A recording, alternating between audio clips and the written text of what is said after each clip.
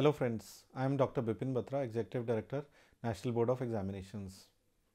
As you are aware that uh, the NEET has been introduced for admission to all postgraduate and super speciality programs in the country by way of uh, an amendment to the Indian Medical Council Act. That's really a good news because NEET has been granted a statutory status and no course, no admission in the country can take place without the candidate being NEET qualified and the merit of NEET being the only consideration. So friends, NEET super speciality shall be for admission to the DM and MCH programs at all institutions in the country which are covered as per the scope of Indian Medical Council Act duly amended. The institutions which are out of the purview of IMC Act namely the All India Institute of uh, Medical Sciences New Delhi, the PGI MER Chandigarh, Sri Chitra Tirunal Institute Trivandrum, the NIMHANS at Bangalore and JIPMER Puducherry are the institutions which have their own st central statutory enactment which means they have their uh, origins from an act of parliament and they are exempt from the Indian Medical Council Act. So, all the DM MCH seats at these institutions shall be exempt and remaining all seats which are at uh, autonomous institutions, at medical institutions owned and controlled by the state government, at medical institution under the armed forces or uh, medical institutions which are either constituent of private universities or deemed universities shall have to mandatorily take admissions through the NEET super speciality. The NEET super speciality examination shall be conducted in the second week of June every year. The result for the NEET super speciality shall be published in the month of July every year and as per the counseling scheme prescribed, the first round of counseling shall take place in the last week of July and followed by the second and which is uh, the last round as well uh, in the month of August every year. So, between the uh, quarter of June, July and August, the entrance examination, the declaration of result and conduct of two rounds of counseling shall be completed every year. Friends, there shall be no interview or any subsequent skill test after the NEET super speciality.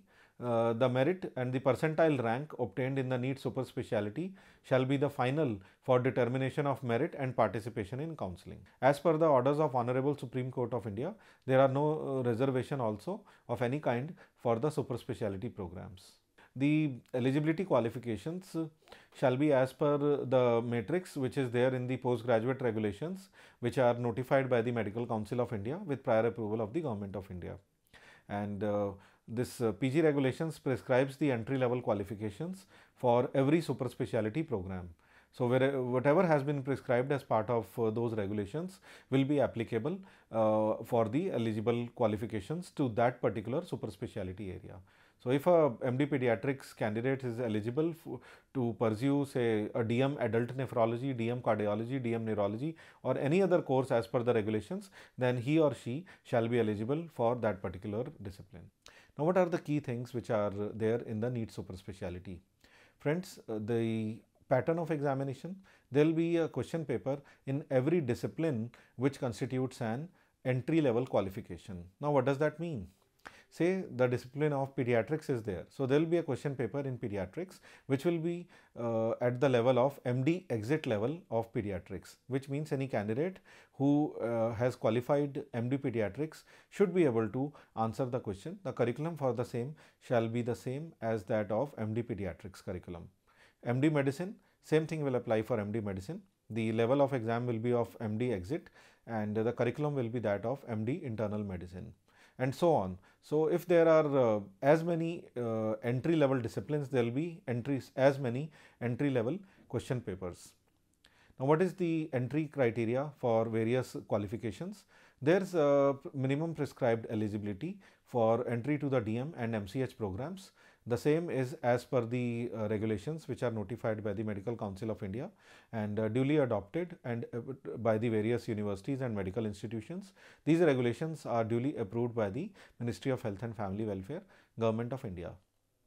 Now, for many programs, uh, say cardiology or neurology, we have uh, multiple entry level qualifications. For the discipline of cardiology, we have uh, respiratory medicine, pediatrics, internal medicine. So, MD in any of these disciplines is eligible for entry to the cardiology. So, these uh, candidates uh, have to write a question paper in their own discipline and obtain their own percentile all India rank for entry to whichever course they deem it is appropriate uh, once the results are declared, they will be given out a result letter and a certificate uh, on the basis of which they can apply to various counseling conducting authorities that at, may be at the state level, that may be at the university level. So, based on their merit, they will be able to uh, participate in the counseling and seek a discipline of their choice. Now, what is the advantage this system uh, offers? Friends, we have been conducting the national level super speciality examinations for the DNB program for almost a decade now. We have uh, conducted a speciality specific uh, entrance examination almost a decade ago and we found that many of the candidates were logged by opting a particular discipline if they opted for say uh, cardiology and subsequently at the time of counseling they found that uh, they are uh, not wanting to join cardiology, but they would join neurology or gastroenterology or rheumatology or endocrinology or any other discipline which is available to them. They are logged practically because they have filled up their form and logged themselves in cardiology. The net result is in such a diverse system across the country where the choices of uh, discipline one MD internal medicine and this is just an example one MD internal medicine is eligible for uh, 10 or 12 disciplines in subspecialty or super specialty. Similarly, uh, one MD candidate is eligible to participate in counseling conducted by so many institutions. So, in such a complex matrix, uh, it is there are high chances that the number of seats will go vacant or wasted if uh, such a scheme is to be adopted. So, as per the current scheme, based on the eligibility criteria, every candidate will get a very high and uh, reasonable opportunity and optimum level of opportunity to pursue a subspecialty or super specialty not only of their choice, but also of availability as per their appropriate rank and eligibility criteria. The application forms for the NEET super specialty shall be online. The examination shall be conducted in the second week of June the application forms for the online application form and registration for the examination is likely to begin in the month of April 2017. The thrust of the questions uh, asked shall be more on applied clinical knowledge rather than rote memory or rote learning alone. So, it is not like what you have learned from the textbooks, how we have applied that knowledge, the applied clinical knowledge uh, in the wards, in the bedsides, in the patient care settings is also equally important and very, very relevant. So, uh, please ensure that uh, your consistency of learning is maintained.